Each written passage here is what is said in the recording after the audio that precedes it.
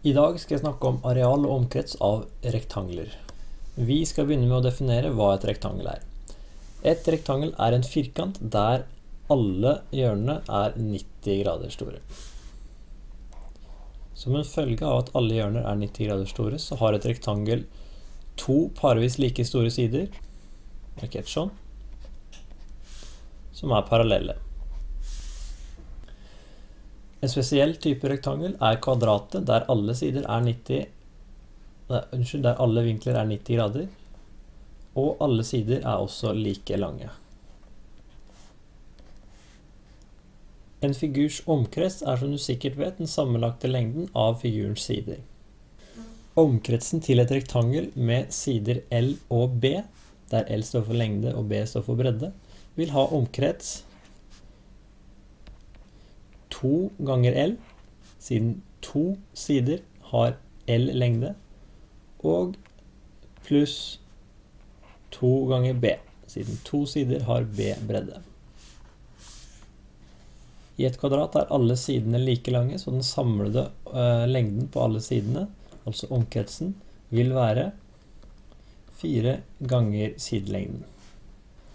Arealet til en figur som viser til hvor stor flate som er avgrenset av figurens sider, vil i et rektangel være lengden multiplisert med bredden. Altså vil arealet være L ganger B. I et kvadrat vil arealet være derfor side ganger side. Og siden S ganger S er det samme som S i A, så skriver vi bare S i A. A lik S i annen. Vi skal se på et eksempel nå. La oss nå si at S tilsvarer 2 cm.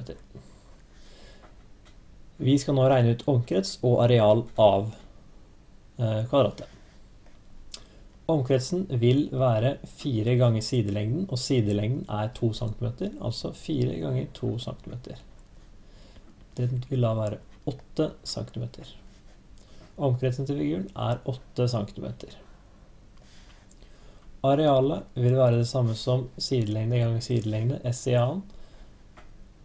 Det vil være 2 cm ganger 2 cm, som er lik 4 kvadratcentimeter.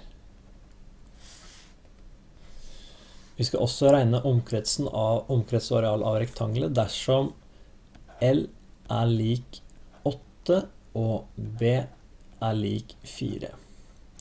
Vi ser at omkretsen er 2 ganger L, og i tilfellet vårt er L 8 cm. Slik at vi får 2 ganger 8 cm pluss 2 ganger B, som da er 4 cm, 2 ganger 4 cm. Og vi får da eh, 16 cm pluss 8 cm. Omkretsen vil da være 24 cm.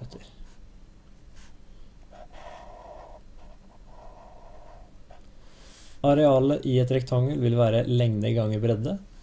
Og her er lengden eh, 8 og bredden 4, altså vil arealet være 8 cm ganger 4 cm. Og det vil gi oss 32 cm i annen.